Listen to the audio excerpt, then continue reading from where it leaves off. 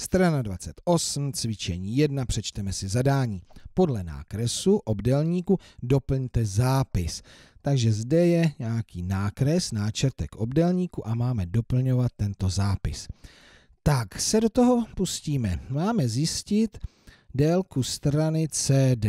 Tak to je tahleta. No, je to protilehlá strana v obdelníku, takže vím, že má stejnou délku jako ta protilehlá strana, v našem případě AB, takže 5 cm. Tak. Délka strany BC, to je tato.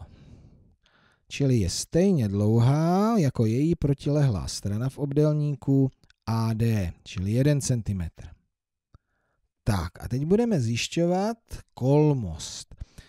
Tak, strana AB, to je tahle a má být kolmá ke dvěma stranám, čili tady je pravý úhel a tady je pravý úhel. Takže začneme.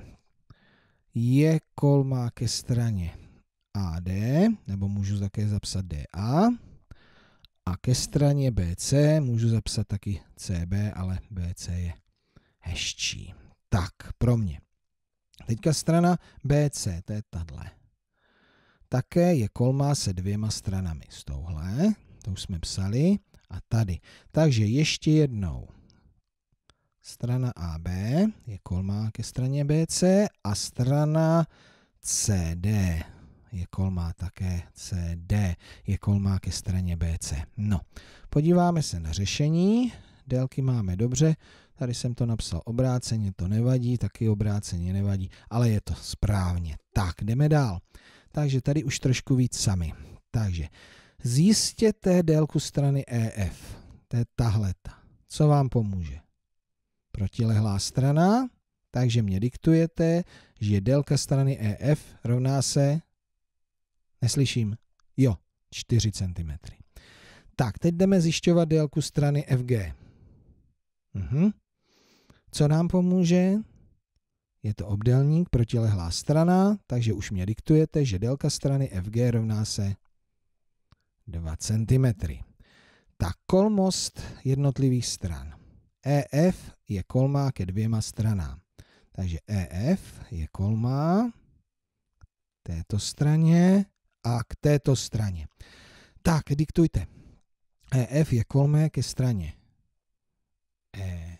H, děkuji. A ještě FG.